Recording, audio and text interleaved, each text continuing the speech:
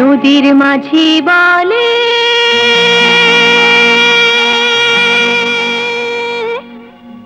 এসো নবী। মাঠের কবি বলে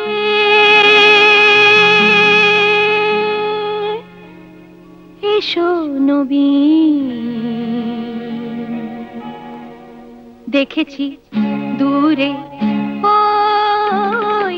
সোনালি দিন দেখেছি দূরে ওই সোনালি দিন দর্শক, শুভেচ্ছা সবাইকে। আমন্ত্রণ জানাচ্ছি কৃষি, খামার ও উন্নয়নমূলক অনুষ্ঠান পেট্রোক্যাম্প সোনালী দিন আমরা সাম্প্রতিক সময়ে দেখছি যে বাংলাদেশের কৃষিজাত যে সমস্ত পণ্য রয়েছে, এইগুলির দাম সাধারণ ভোক্তার নাগালের বাইরে চলে যাচ্ছে।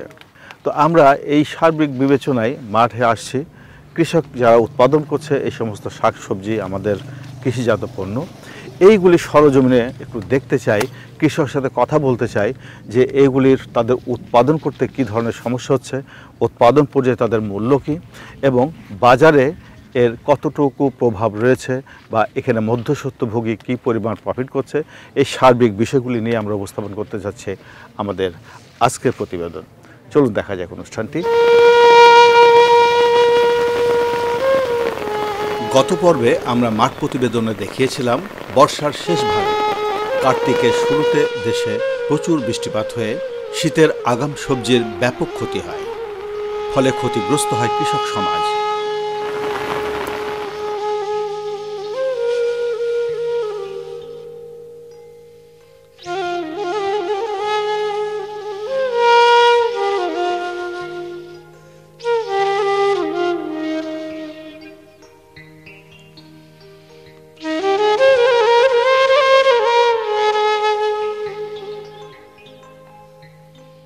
ফলশ্রুতিতে সবজির বাজার ছিল ভোক্তা সাধারণের ক্রয় ক্ষমতার বাইরে।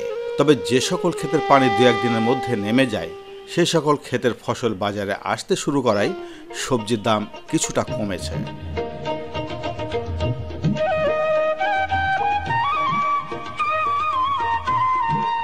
বাংলাদেশে কিন্তু এখন বেগুনের দাম আকাশ উঠে গেছে। কদিন আগে আমরা বেগুন কিনলাম একশো ষাট টাকা কেজি ঢাকা শহরে। সেই বেগুন দাম এই যে যশোরে যেখানে বেগুন উৎপাদন হচ্ছে মনিরামপুর উপজেলায় আসে কৃষক ভাইরা আছেন কী দামে এরা বিক্রি করছেন কেমন ফলন হচ্ছে সব কিছু জানার একটা উদ্যোগ আমাদের। তো কতটুকু জায়গা আপনার এখানে এখন? এটা আছে আটচল্লিশ শতকে আঠারো কাটা জমি এটা। কেমন হয়েছে এবার ফলন? এ জায়গায় মনে করেন যে এই আঠারো কাটা জমিতে দশ মন বারো মন করে উঠেছে। এবার কি বৃষ্টি পাইছেন? আপনার জমি বৃষ্টি পাইছে? বৃষ্টি উঠেছিল তো যেমন আজকেও দেখলাম একটু বৃষ্টি হয়ে গেল আমরা। চলে গেলাম ওইখানে হ্যাঁ? সপ্তাহে সপ্তাহে হচ্ছে সপ্তাহে এক সপ্তাহ লাগে মানে দাঁড়ায় থাকতেছে অনেক সময়। এই বৃষ্টি হলে কি ক্ষতি হচ্ছে কোনো? ক্ষতি তো অবশ্যই আছে গাছের পাতা? জাড়ি দিচ্ছে আপনার আছে পোকা মাকড় বেশি লাগ দিছে ফুলে কোনো সমস্যা হচ্ছে? ফুলও জাড়ি দিচ্ছে তো। হ্যাঁ, এখন প্রচুর ফুল আছে। কিন্তু এই ফুলগুলো সমস্যা হয়ে যাচ্ছে বৃষ্টির কারণে। কিন্তু এই সময় তো সাধারণত বৃষ্টি হওয়ার কথা না আগে তো এই সময় হতো না আগে আরও আগে বৃষ্টি হতো। হ্যাঁ। এই সময় শীতের সময় চলে আসছে এখন আস্তে আস্তে তো এ তো আপনার আপনার কাতি মাসে তো পুরোটাই খরা আসি যায়। খরা এসে যায়। হ্যাঁ। কিন্তু আমাদের আবহাওয়ার পরিবর্তনের কারণে আমাদের এখন পানি চলে আসছে বৃষ্টি হচ্ছে তাই না? তাতে আমাদের শীতকালীন সবজিগুলি ক্ষতিগ্রস্ত হচ্ছে। এই কারণে কি বাজারে দাম বেশি? হ্যাঁ এই মনে করেন যে মাঠে অতিরিক্ত আছে নষ্ট হয়ে গেছে। তার কারণে যার হচ্ছে তার ভালো পয়সা দিতে হচ্ছে যার হচ্ছে না তার মোটেই হচ্ছে না। আপনার কেমন ক্ষতি হয়েছে এবার? ক্ষতি হয়ে গেছে মনে করেন যে এলো মাঠে আমার আরও দশ কাটা লাগানো ছিল সেটা টোটালি নষ্ট হয়ে গেছে। আপনার মতো যারা এখানে এই চাষ করেছে বেগুন বা অন্য অন্য সবজি সবার কি ক্ষতি হয়েছে? জায়গা জায়গা বুঝে যে জায়গাটা একটু নিচু বেশি নিচু জায়গা নিচু জায়গা তো মোট টোটালি শেষ হয়ে গেছে তারপরেও মনে করেন ডাঙ্গা জমি তো অনেক সময় অতিরিক্ত বর্ষার কারণে আছে পানি তো সত্যি পারেনি এবার এই গেট ঠের করি মোট সত্যি পারেনি তার জন্য নষ্ট বেশি হয়ে গেছে। এখন বর্তমান বাজার যাচ্ছে আশি থেকে নব্বই টাকা। এই দাম কি বাজারে আপনি ঠিক করেন নাকি কারা ঠিক করেন? ও বাজারে গেলেই এমনি আছে খরিদ্দারের দাম জিগাই নেই। তাহলে এবার ফলন কম হলেও যাদের বেগুন টিকেছে জি। বা অন্যান্য সবজি পটল বেগুন বা অন্য যেগুলি কাঁচামরিচ জি। এরা যা চাষ করেছে ফলন কম হচ্ছে কিন্তু ওই দামের দিক দিয়ে পুষে যাচ্ছে নাকি? হ্যাঁ। হ্যাঁ? দামের দিক দিয়ে ব- যাচ্ছে।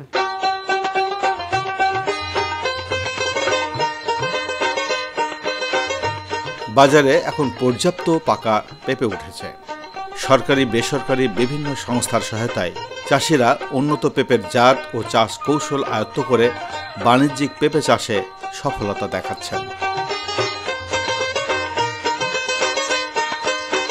পেঁপে এবং হলুদ একসাথে তাতে কি পেঁপের বা হলুদের কারও কোনো ক্ষতি হচ্ছে? না কারও কোনো ক্ষতি নাই। কোনো ক্ষতি নাই? না না। আচ্ছা। এই যে পেঁপে খুব কি ভালো হয়েছে মনে হয়? নাকি পেড়েছেন আপনি এর আগে? না এর আগে আমি প্রায় এই গত সপ্তাহে গত দুই দিন আগ পর্যন্ত একটা না বারো দিন কাটছি। বাজারে দিয়ে হ্যাঁ বাজারে দিয়ে দিয়েছি আচ্ছা, এই জন্য আমরা গাছে কম দেখছি। কম দেখছি। কি জাত? আচ্ছা টপ লেডি। এইটা কোথা থেকে পাইছেন চারা? আমি যশোর ম্যাক্সিম অ্যাগ্রো থেকে নিয়েছিলাম চারাটা। এটা কি ভালো মনে হচ্ছে? ট্রেতে করে চারা? জি জি কোকোপিটে? কোকোপিটে। মাটির চারা না না মাটির চারা না। এটা কি পার্থক্য মাটির চারা আর ট্রে চারার মধ্যে পার্থক্য আছে কিছু? অবশ্যই আছে। বলেন কি? মাটির চারার আছে আপনার যদি এক জায়গা থেকে উঠাই আর এক জায়গায় আনিয়ে রোপণ করা যায়। ওইটা হচ্ছে আপনার শিকড় কাটে যায়। কাটার পরে রোয়ার পরে অনেকদিন অন্তত দশ দিন ঝিমায় থাকে আচ্ছা। বা খাবার গাইতে ওদের শিকড়গুলো থাকে নতুন আচ্ছা। শিকড় না দেওয়া পর্যন্ত কোনো খাবার। খাইতে আচ্ছা, পারে খেতে পারে না। আর ম্যাগ ওই যে আপনার কোকোফিট তোলার সময় হয়তো শিকড় ছিঁড়েও যেতে পারে। আর কোকোফিটের চারা আপনি আনলেন বা ওই দিলেন শিকড় ওর তো শিকড় ছিঁড়ে না। বা কাপটা বের করে দিয়ে রোপণ করে দেওয়ার সাথে সাথে খাবার খাওয়া শুরু করে ওরা। একটা গাছে কি পরিমাণ পেঁপে হতে পারে? এই যে আপনি টপ লেডি যেটা বললেন কোকোপিটে চারা। প্রায় আড়াই থেকে তিন মন।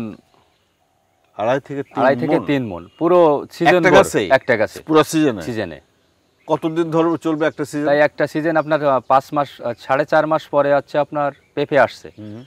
পুরো দেড় বছর পর্যন্ত একটা না পেঁপে চলতে থাকবে। হলুদ করেছেন এটা কতদিনের মতো উঠবে? এ হলুদ আর আচ্ছা তিন মাসের ভিতরে হলুদটা উঠে যাবে। উঠে যাবে। হলুদ তো সাধারণত আমরা জানি একটু ছায়াযুক্ত জায়গা হলে পরে সমস্যাটা ভালো হয় তাই না?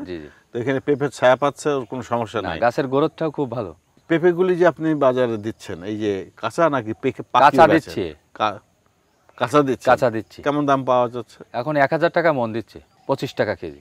আপনি যদি এটাকে একটু ডাসা মানে পাকার আগ মুহূর্ত করে একটু রং ধরে বেচতে পারতেন তাহলে কি বেশি হতো? বেশি বিক্রি হতো। দেখা গেল সত্তর আশি টাকা কেজি বিক্রি হতো। তো সেটা করছেন না কেন? দেখা গেল একটা গাছ থেকে যখন দুই থেকে আড়াই মন পেঁপে হচ্ছে তখন গাছে রাখলে গাছগুলোও কষ্ট পাচ্ছে অর্থাৎ আচ্ছা। অস্বস্তি নিচ্ছে। আচ্ছা, যখন আচ্ছা। ওইটা বের করে দিচ্ছি তখন পেঁপেগুলো আরও মোটা হচ্ছে। আরও মোটা হচ্ছে। এটা ওর থেকে এই দিক দিয়েও আরও আমার লাভটা সমান সমান আসছে। সমান সমান হয়ে যায়। সুতরাং গাছেরও শান্তি দিচ্ছেন। হ্যাঁ।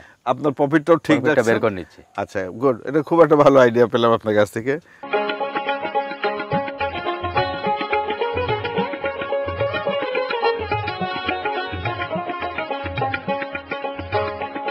করলা এমন একটি সবজি যা সারা বছরই বাজার পাওয়া যায়। মাচা পদ্ধতিতে করলা আবাদ করলে ফলন ভালো পাওয়া যায়।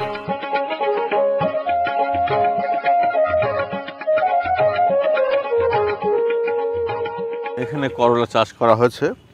পুরা মাঠ জুড়ে। ওই পাশে যে করলাগুলি লাগিয়েছিলেন আমাদের কৃষক ভাই, ওগুলি কিন্তু নষ্ট হয়ে গেছে বৃষ্টির কারণে।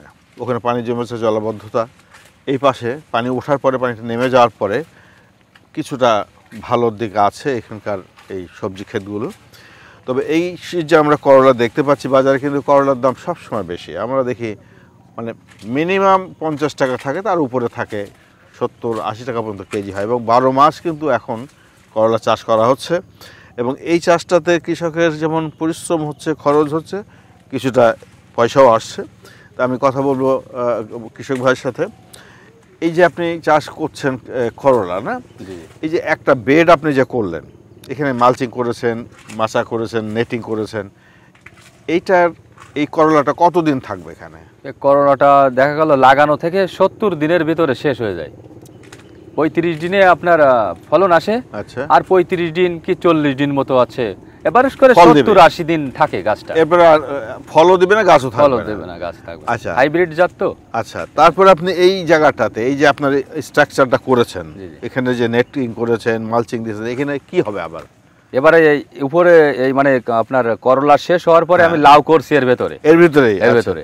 আচ্ছা লাউ যে লাউটা আছে ওই যে ও দেওয়া আছে। আচ্ছা। ওপাশের গাছটা আছে ওই। আচ্ছা।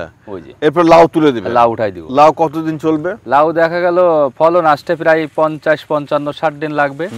এবারে করে আর দেখা গেল এরকম দুই মাস মতো লাউ থাকবে। লাউর পরে কি হবে আবার? লাউর পরে নতুন করে আবার জমি চাষ করে আচ্ছা নতুন করে আবার যখন নতুন করে চাষ করবেন তখন কি আপনার এই যে স্ট্রাকচার এগুলো সব তুলে ফেলতে হবে? লাগবে সব। এই নেটিং নেটটেট সব তুলে ফেলা লাগবে? উঠানো লাগবে। আচ্ছা তার মানে এক খরচে আপনি দুটো ফসল দুইটা ফসল নেব। আগে তো আপনারা বেডে করতেন চারাটা না? আগে সরাসরি জমিতে আছে বীজ বপন করে দিতাম সেখান চারা হতো সেই চারা তুলে এনে আপনি লাগাতেন এখন আপনি কোকোপিটের কোকোপিটের মাধ্যমে করছেন। তাহলে এই যে প্রযুক্তিটা তাহলে আগের প্রযুক্তি এই প্রযুক্তির পার্থক্য কি বলবে? মাটির চারাগুলো গ্রোথ কম থাকে। আর আচ্ছা। কোকোপিটের চারার গ্রোথটা একটু বেশি থাকে আরও দ্রুত ফলন পাওয়া যায়। এই প্রযুক্তি আপনি শিখলেন কোথায়? আমি যশোর ম্যাগজিম অ্যাগ্রো থেকে শিখছিলাম? সাইফুর ভাই হাসান ভাইয়ের মাধ্যমে। আচ্ছা তাদের মাধ্যমে এটা শিখেছেন। তাহলে আমরা ধরে নিচ্ছি আমাদের সমস্ত কৃষকরা যদি চারা উৎপাদনের এই কৌশলগুলি শিখে যায় ম্যাক্সিম যদি আপনাদেরকে যেভাবে সহযোগিতা করছে তাহলে পরে কিন্তু একসময় আমাদের চারার জন্যে সুস্থ সবল চারার জন্য আর কষ্ট পেতে হবে না। নিজেরাই তৈরি করতে পারবেন এবং ফলনটাও আশা করছি ওই যে বেডের চারার থেকে এই চারার মনে হয় ফলনটা বেশি ফলনটা বেশি।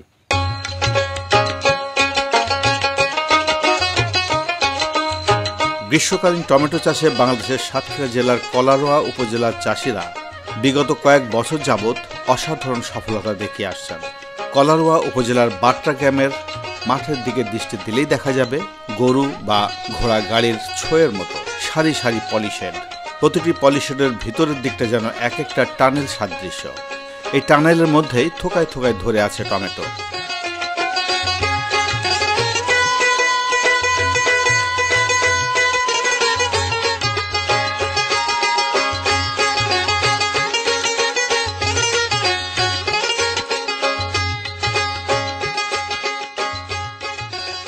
আমরা দেখেছি যে সাতক্ষীরা জেলার কলারেওয়া উপজেলায় এখানে এই জায়গাটা প্রসিদ্ধ হয়েছে ইতিমধ্যেই গ্রীষ্মকালীন টমেটো চাষে। আমরা মাঠের যেদিকে তাকাচ্ছি সেদিকেই শুধু দেখছি গ্রীষ্মকালীন টমেটো। অসংখ্য এরকম পলিশ হেড দিয়ে এই চাষটা করা হচ্ছে। তো এইখানে দুজন কৃষক আছে, আমরা তাদের সাথে কথা বলব। এর ভবিষ্যৎ, এর বাণিজ্যিক লাভ কেমন হচ্ছে? এই সার্বিক বিষয়গুলি নিয়ে। আমরা যখন শীতকালে যে টমেটোটা আপনারা চাষ করেন তার সাথে এই চাষের পার্থক্য কি? শীতকালে যেটা আমরা চাষ করি এটা তো আপনার পলিশি দিয়ে ছাউনি করা লাগে না। আচ্ছা। কিন্তু বাড়ি এইটি আপনার ছাউনি করা লাগে। এখানে অত্যন্ত এই বাড়ি এইটি অত্যন্ত তাপ সহ্য করতে পারে না।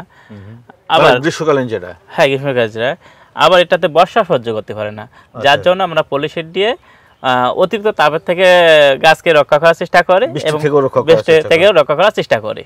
প্রতি শতকে কতগুলি চারা দিতে হয়?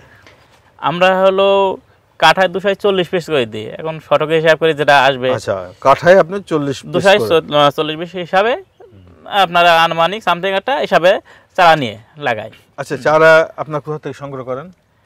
এটা আমরা প্রথম পর্যায়ে হলো নিজেরাই তৈরি করতাম। হ্যাঁ পরবর্তীতে হলো ম্যাগজিম যশস্ত্র মনকাঠি থেকে ম্যাগজিম থেকে চারা আমাদের কিছু কিছু দিয়েছিল।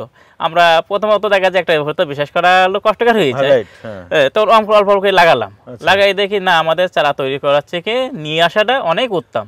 কারণ আমরা যখন চারা মাটিতে তৈরি করি এখান থেকে যখন আমি চারাটা মারবো তখন ওর মূল শিকুটা কেটে যায়। আচ্ছা। যখন লাগাবো ওই চারাটা তিন দিন চাইলো আপনার সোজা হতে।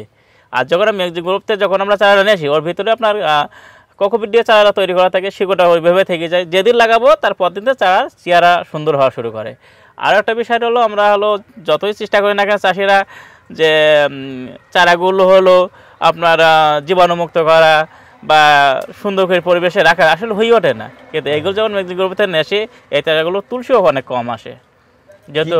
তুলসী তুলসী আগা কোকড়ানো রোগটা আচ্ছা, অনেকটা কম হয়। চারাটা যখন আপনি লাগাচ্ছেন জি। তার কতদিন পর থেকে ফল আসা শুরু করে? একটা গাছ লাগানোর পর থেকে তার যদি গ্রোথ ঠিক থাকে তা সতেরো থেকে বিশ দিনের ভিতরে ওই গাছে হরমোন দেওয়া যায়। আচ্ছা। আর হরমোন দেওয়ার থেকে তিরিশ দিন এর ভিতরে একটা গাছেতে সুস্থ সবল গাছ থেকে ফল উঠানো যায়। এই ফলটা কতদিন পর্যন্ত আপনি সংগ্রহ করতে পারবেন? আবহাওয়া যদি ভালো থাকে একটা গাছ প্রায় আট মাস ধরে বাঁচে। যদি মাস হ্যাঁ আট মাসে আপনি প্রতি সপ্তাহে সপ্তাহে বা সপ্তাহে দুবার করে আপনি না একদিন বাদে একদিন। একদিন বাদে একদিন। একদিন বাদে একদিন আমরা ওঠাতে পারি। এক বিঘা জমিতে এই যে পলি শেড করা মানে এই যে আপনি শেড করেছেন বাঁশ লাগিয়েছেন না? জি জি। আনুমানিক কেমন খরচ হতে পারে? এখন শুরুর থেকে ফল উঠানো পর্যন্ত বিঘায়? বিঘায় 33 প্রায় এলো তিন লাখের মতন খরচ এসে যাবে প্রথম বছর। আচ্ছা। সব মিলে। আচ্ছা। দ্বিতীয় বছর এসে দেখা যায় ওইটা অনলি ষাট সত্তর হাজার টাকার ভিতরে আপনার কমপ্লিট মানে এটা তো থেকেই যাচ্ছে। সব কিছু যাবে।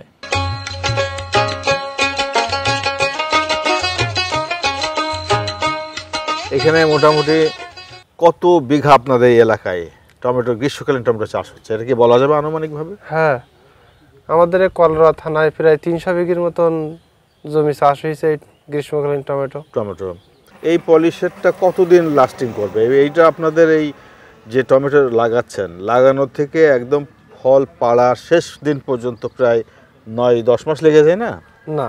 ছয় মাসের মতন লাগে। ছয় মাস মতো লাগে? জি। তাহলে এই আট মাস কি এই পলিটা চলে নাকি মাঝখানে বদলাতে হয়? আপনার শীতের আবহাওয়া যখনই আসবে হ্যাঁ। তখনই আমরা পলিটা ওর ওপর থেকে উঠাই ফেলব। ফেলবেন। উঠাই ফেললি ওই গাছ তখন ওই ওপরেই উঠে যাবে। আচ্ছা। তখন মানে খোলামেলা জায়গায় হবে। আচ্ছা। শীতের আবহাওয়া আসলেই তাই। এখন আপনারা যে ফলটা পাচ্ছেন গ্রীষ্মকালীন জি। এই গাছেরই ফলটা আবার শীতকালেও চলবে? জি। চলবে। আচ্ছা তখন কি ফলনটা আরও ভালো হবে ফলন আর একটু বেশি হবে। বেশি হবে এবং তখন আপনি পলিশটা উঠে ফেলবেন। জি। শুধু শীতকালের জন্য তো টমেটো লাগানোর আলাদা চাষ আছে নাকি? হ্যাঁ?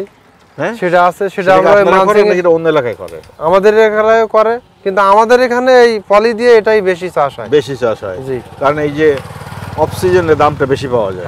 হ্যাঁ। আপনি এখন দাম কেমন পাচ্ছেন? কালকের বিক্রি করেছি একশো এগারো টাকা। আচ্ছা। এখান থেকে এক সপ্তাহ আগে একশো ষাট টাকা মতো বিক্রি করেছি। আমার এই চব্বিশ কাটা ভুইতে প্রথম ধরনের আমি দুই লাখ সত্তর হাজার টাকা টমেটো বিক্রি করেছি। পলিথিনটা এর পরে এটা কি হবে? এটা তো মাটিতে পড়লে জমিতে পড়লে জমির ক্ষতি হওয়ার কথা।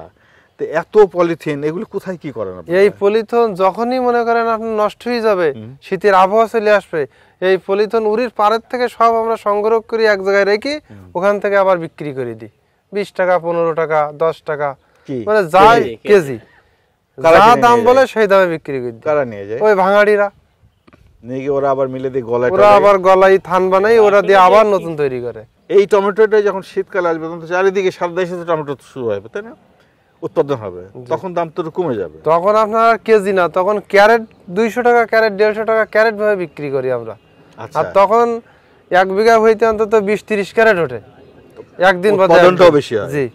খরচও কম ওই সময় আপনার হরমোন দেওয়া লাগে কম ট্রিটমেন্ট আচ্ছা। খরচ অনেক খরচ কম। আচ্ছা এবার একটু গুরুত্বপূর্ণ কথা বলি।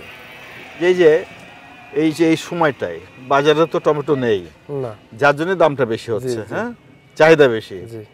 কিন্তু আমরা যতদূর জানি ভারত থেকেও তো টমেটো আমদানি হয়। আপনাদের কি জানা আছে সেটা? হ্যাঁ আছে জানা আছে। এখন হচ্ছে? আমি নিজে যেহেতু ব্যবসা করি প্রতিদিনই সংবাদই আমি জানি। আচ্ছা। এখনও পর্যাপ্ত পরিমাণ টমেটো আসতেছে। আচ্ছা। তা না আসলে তো বাংলাদেশ তো হইল মা- য- পরিমাণ জনসংখ্যা আমরা তো যা উৎপাদন করছি তাতে তো হচ্ছে না। আচ্ছা। এই জন্য বাইরের থেকে আমদানি করা লাগছে। তারপরেও আমাদের টমেটোটার দাম বেশি। আচ্ছা এই যে বিদেশে যা ইন্ডিয়া থেকে তো আসে জি।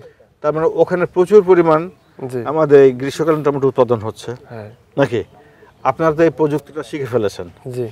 তা আপনাদের দেখা দেখি আশেপাশের জেলা বা উপজেলা থেকে কেউ আসে না শিখতে করার জন্য?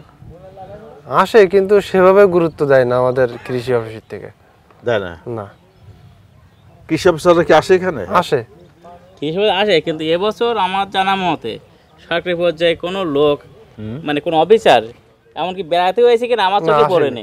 আসে? টমেটো বিষয় আসেনি। আমরা কিন্তু স্যার কোনো অনুদান নেওয়ার জন্য বলিনি। আমাদের এখানে যেমন আপনারা আসলে একটু সাক্ষাৎ নিলেন কিছু শুনলেন কিছু আমরা আপনার কাছে শুনছি এই যে একটা ভালো লাগার দিক আছে। কৃষি অফিসাররা যদি আসে অন্তত মোটরসাইকেলও রাস্তাতে পাক দিয়ে যাইতে, আমরাও তো মনে বুঝি না, আমাদের এখানে দেখতে আসে কোনো প্রকার। তাদের এখানে গেলেই শুধুমাত্র সান্ত্বনা পুরস্কার আমরা কিছু কথা বলি, তাই মিষ্টি কথা সিঁড়ি চলিয়ে এসটি হাই আর যদি কখনো ভুল করে এবছর আসে আসে, তাই আপনার আয়ে কটা ছবি উঠাই বাস। বাংলাদেশের সুগার মিল এলাকায় সাধারণত আখের চাষ হয়ে থাকে। তাছাড়া চিবিয়ে খাওয়া ও বাণিজ্যিকভাবে মেশিনের সাহায্যে আখের রস বিক্রির জন্য ভিন্ন ভিন্ন আখের জাত রয়েছে।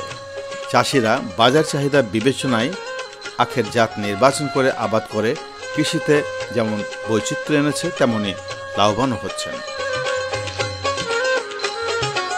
আমি আপনার কাছে একটু জানতে চাই যে এটা কি জাতের আখ? এটা হচ্ছে ফিলিপাইন জাত। ফিলিপাইন জাত। মানে নামটাই ফিলিপাইন ফিলিপাইন। ফিলিপাইন থেকে আসছে। আচ্ছা সুতরাং এটা হয়তো অন্য কোনো সাইন্টিফিক নাম থাকতে পারে। এটা ওনাদের কাছে পরিচিত হয়েছে ফিলিপাইন জাত নামে। এটার বৈশিষ্ট্য কি?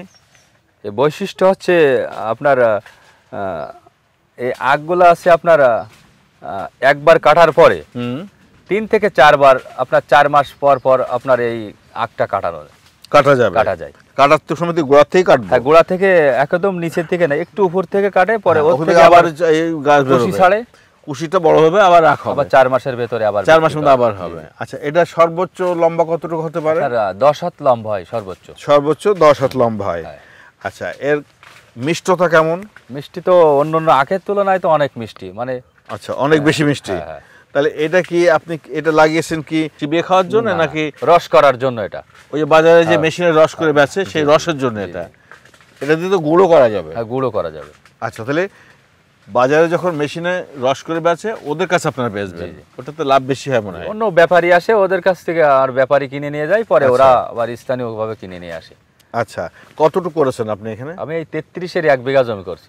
এখান থেকে আপনি বীজ রাখতে পারবেন নাকি আবার বীজ কিনতে হবে? না বীজ রাখতে পারব। কেউ যদি বীজ কিনতে চায় এর থেকে চারা? কেনা যাবে। চারা না এই এই আখ কেনা লাগবে এই আখ আপনার খন্ড আচ্ছা খন্ড করে সে করবে। হ্যাঁ, হ্যাঁ। আচ্ছা এটা আপনি এটা কি কাটার উপযুক্ত হয়নি দেখো? না এখনও হয়নি এক মাস পরে হবে। আরও বড় হবে? আর মানে আপনার দশ হাত লম্বা হবে আমি বাজার চাহিদা অনুযায়ী আপনার বিক্রি করে আচ্ছা বাজার চাহিদা বেশি হলে আপনি বিক্রি করে দিবেন। আচ্ছা কেমন দাম হতে পারে জানা আছে? এক একটা পিস আখের? এক একটা পিস আখ তিরিশ পঁয়ত্রিশ টাকা বিক্রি হবে। এটা মনে বিক্রি হয় এক মন। এক মন। জি। আচ্ছা হিসাব করলে একটা পিসের দাম আপনার তিরিশ থেকে পঁয়ত্রিশ টাকা আসে এক বিঘা বা এক শতক জমিতে কত পিস আখ হয়? এটা কোন হিসাব হ্যাঁ, আছে? অবশ্যই। এক শতক জমিতে আপনার আমি এক সারি গুনছিলাম। তা হিসাব করে দেখলাম একশো পঁচানব্বই পিস এক সারিতে। এক সারিতে? এক সারিতে। আপনি পঁয়ত্রিশ টাকা করে বেচতে পারবেন। পঁয়ত্রিশ টাকা বিক্রি একশো পঁচানব্বই পিস হয় এক 195 সারিতে। পাঁচ মন হবে। এক সারি কি এক শতাংশের মধ্যে হয় নাকি? এক শতকের একটু কম হবে। কম হয়। তাহলে বলা যায় যে ভালো প্রফিট হওয়ার সম্ভাবনা আছে। হ্যাঁ? জি। তো আপনার এই যে আখ চাষ যারা দেখছে যে আমাদের এলাকার হ্যাঁ? জি। তারা কি বলে? তাদের এরা তো আবার আগ্রহী বেশি? হ্যাঁ, বীজ লাগবে আমাদের এরকম মানে তো আপনার কিছু তো বীজ রাখার জন্য করতে হবে। হ্যাঁ হ্যাঁ, যে কোনো সারি থেকে আপনার বীজ করা যাবে। আচ্ছা এখন একটা কথা বলেন যে এই আখ কত দিনের ফসল রোপণের সাত মাস পরে কাটা যায়। দ্বিতীয় কাটা আপনার চার মাস পরে কাটা যায়। আচ্ছা। আমরা কিন্তু দেখেছি আমাদের যে সুগার রিসার্চ ইনস্টিটিউট আছে না জি। ওরা যে প্রযুক্তি দিয়েছে তাতে করে তারা বলছে যে যখন আখটা আপনি লাগাবেন তো ছোট থাকবে তখন সাথী ফসল হিসাবে আপনি শাক বা অন্য কিছু লাগাতে পারেন। তাতে করে আপনার কি যে একটা খরচ প্রাইমারি খরচটা কারণ যেহেতু এটা দীর্ঘ সময়ের ফসল তাহলে এই সময়টা আপনি একটা কিছু লাগালে পারে আপনার খরচটা উঠে আসে। আমি এটা বরবটি দিয়েছিলাম। দিয়েছিলেন? জি। আচ্ছা তারপরে কি হয়েছিল সেটা? বরবটি শেষ হওয়ার পরে। আপনার বরবটি গাছ উঠাই দিয়ে আপনার আচ্ছা। বেডে মাটি উঠাই দিয়েছিলাম দুই সাইড দিয়ে। আচ্ছা তাহলে আপনি সেটা করেছিলেন? জি। কতদিন পর থেকে এটা বিক্রি করবেন? এক মাস পরে কাটা আর এক মাস পর থেকে? শীতকাল এসে যাচ্ছে। শীতকাল। কিন্তু এটা যদি গরমকালে আপনার এই রসটা দিতে পারতেন তাহলে কি বেশি ভালো হতো? দামটা আরও বেশি হতো। তাই সেই সেইটা পরিকল্পনা কি করা যায় যে ঠিক গরমের সময় আমার এটা ম্যাচিউর হবে গাছটা। এইটা আছে এক মাস পরে যখন কাটা যাবে। হ্যাঁ। তখন আর চার মাস পরে যখন কাটবো তখন আবার গরম চলে আসবে রমজান।